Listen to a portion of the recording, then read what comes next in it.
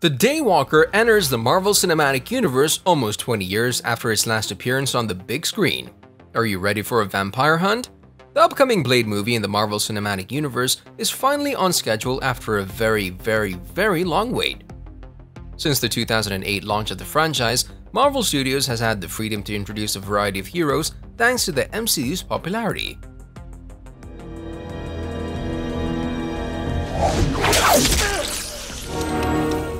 Despite years of Marvel films coming before the MCU, their appearances mark the big screen debuts of the comic characters in many cases. Another title scheduled for an MCU makeover is Blade the Vampire Slayer. Fans have been eagerly anticipating his return, but now they can all relax because the superhero, who's also half vampire and half human, is returning to fight back evil. Wesley Snipes fully revived the character in the Blade movie trilogy, a remarkable series of blockbusters that we continue to watch even today. The character first made an appearance in comic books 50 years ago as a supporting character. Fans of comic books will remember him from his debut in The Tomb of Dracula, a comic book published in 1973. Eric Brooks is an orphan whose mother died after being bitten by a vampire. Because she was in labor with him at the time, Blade was immune to becoming a bloodthirsty creature. However, the loss of his mother when he was a baby will haunt him in the future. His days are filled with rage, and all he wants is revenge for his late mother. Blade made his first appearance on the big screen in 1998 with the release of the first film in the trilogy. The movie marked a turning point and helped establish Blade as a genuine legend. Of course, none of this would have happened if Wesley Snipes, who by the way was in his prime at the time, had played the role. He's the real reason Blade turned into a genuine legend and built up such a huge fan base worldwide. Blade's official release date hasn't been announced by Marvel Studios, but given that production is set to begin in July, it might be released as early as the summer or fall of 2023. The average time between the start of production and the release of a Marvel Studios film is 12 to 18 months, though the pandemic extended that period slightly. Blade will likely soon secure a 2023 release date and join Ant-Man and the Wasp Quantumania and Guardians of the Galaxy Volume 3.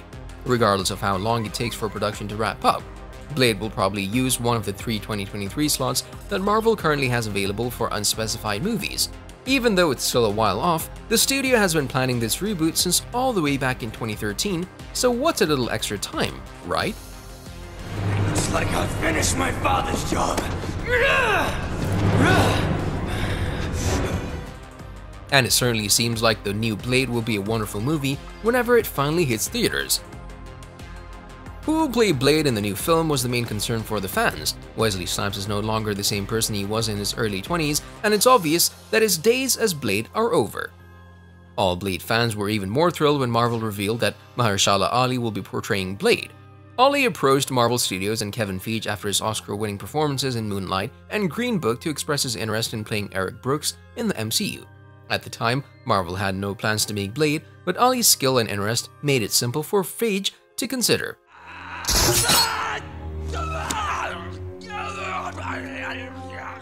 The only character who has been formally confirmed for the film, given where we are in the production, is Ali's Blade.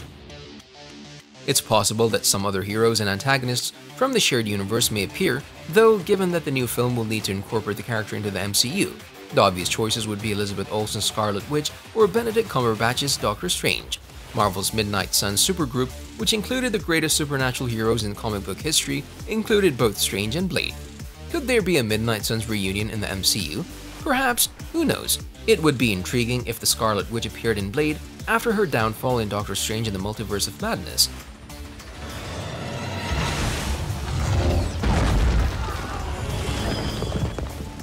Before we go any further, we wanted to let you know that it's time for you to smash that like button if you haven't done it already. In relation to cameo appearances by other heroes, you know what could be amazing? If Deadpool appeared in the upcoming Blade film. Okay, I'm okay, seriously now. It's in the meat of my butt, just below the Hello Kitty tattoo. Reynolds played Hannibal King in the third Blade film, Blade Trinity, and you just know that if Wade and Blade met, that would be used as a punchline. Putting wishful thinking aside, we'll just have to wait and see what actors are cast in the film. After all, in the comics, Blade has had a long list of allies, enemies, allies who became enemies, and enemies who became reluctant allies. Anyone could show up, including Deacon Frost and the legendary Dracula.